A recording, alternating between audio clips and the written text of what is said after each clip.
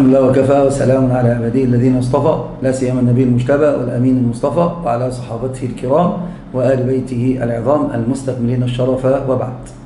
الحمد لله وكفى وسلام على عباده الذين اصطفى لا سيما النبي المجتبى والأمين المصطفى وعلى صحابته الكرام وآل بيته العظام المستكملين الشرف وبعد. إخوة الكرام. الإمام المطلبي المطلبي القرشي الإمام الشافعي الذي جاء فيه الحديث عالم من قريش يملأ الدنيا علما يملأ الدنيا علما.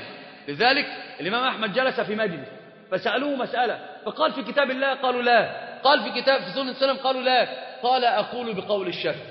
بعدما قال في قول الصحابة قال قالوا لا قال أقول بقول الشافعي. ويأخذ بهذا الحديث. الإمام الشافعي أنا ترجمت له في الكتاب في كتاب مدأم شجاع فلا أطيل. لكن الإمام الشافعي وصفه أحمد وصفا دقيقا. قال كان كل واحد منا عج. ما يستطيع أن يرد على أهل الرأي.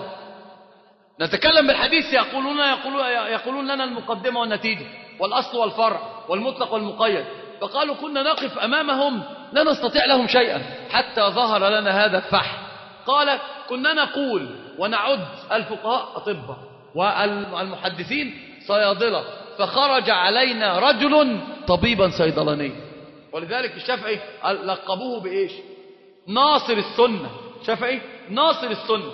لذلك من أهم ميزات هذا الإمام وميزات الفقه الشافعي بأنه أقرب الأقرب أنا أدين الله هذا كلام الألباني أيضا. أقرب المذاهب على الإطلاق إلى السنة يا مذهب الشافعي. وهو أقوى المذاهب. لأنك لو بحثت في أكثر المحدثين المتقنين لا تجدهم إلا شوافع. فهنا ميزت الإمام الشافعي أنه جمع بين المدرستين.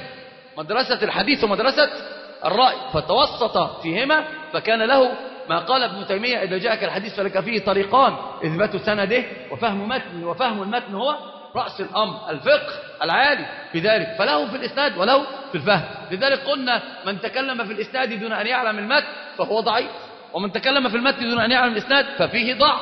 فلا وبوابة العلم إتقان العقيدة فمترابط العلم كله بعضه إلى بعض. فالإمام الشافعي الطبيب الصيدلاني هنا يعلن للناس صراحة إذا صح الحديث فهو مذهب.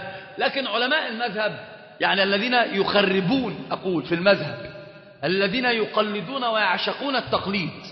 يعني حتى لو قالوا يقولون يأخذون بتاع مقدمة النووي لأننا سنشرحها إن شاء الله مع الكتاب يقولون بأن في مقدمة النووي بين أن مسألة إذا صح الحديث فهو مذهبي ليس على الإطلاق. مش بقى كل مرة يجد حديث يخالف الشافعي فيه فيقول وهذا مذهب الشافعي وسأخذ به. لا ليس على الإطلاق. وطبعا يقيد يقول لابد من الذي يقول بذلك يكون عالم متقن عنده آلة الاجتهاد توسع وتبحر في الإطلالة على كتب الشافعية.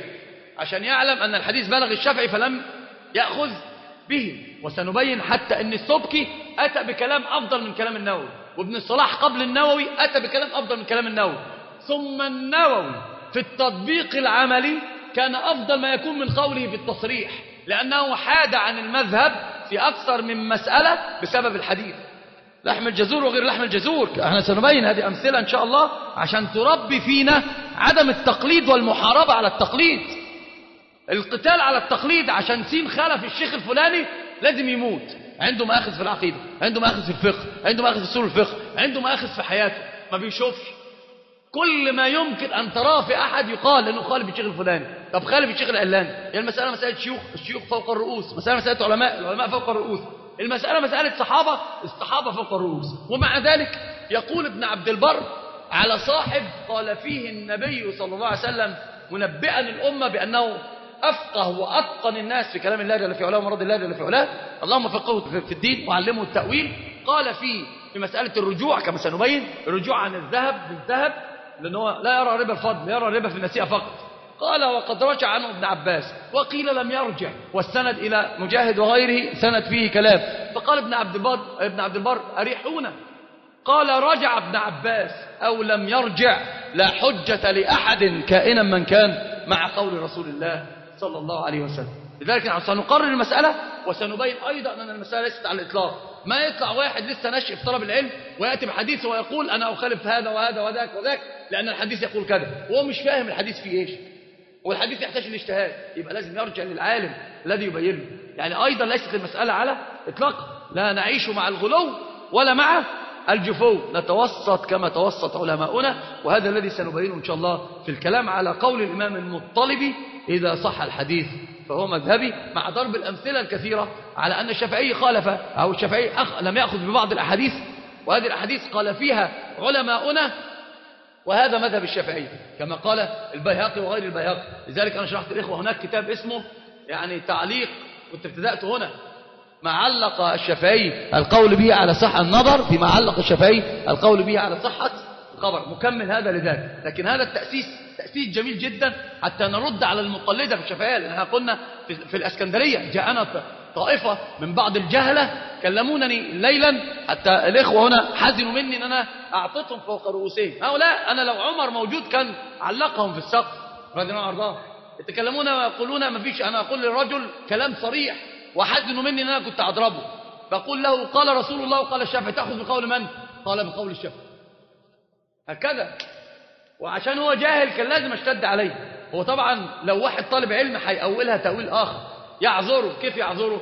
إنه يأخذ بكلام إنه في مقدمة المجموع بإنه يأخذ بقول الشافعي طالما هو مش مجتهد ولا مستطيع إن هو إيه؟ يفقه قول النبي صلى الله عليه وسلم حتى يسلم. هذا التأويل. لكن هو لا هو بهذا يهدم. سنن ابن عمر يقول له لعنة الله عليه على بلال. أو يقول له وكزه وقال لا كلمتك ما حييت. أقول قال رسول الله لا تفعل. وأنت تقول أفعل؟ تعظيما للسنن. فهذا سنبينه إن شاء الله. وأيضا هذه وسطية. لا غلو ولا ولا جفو. حتى يكون الميزان ميزان عدل عندنا.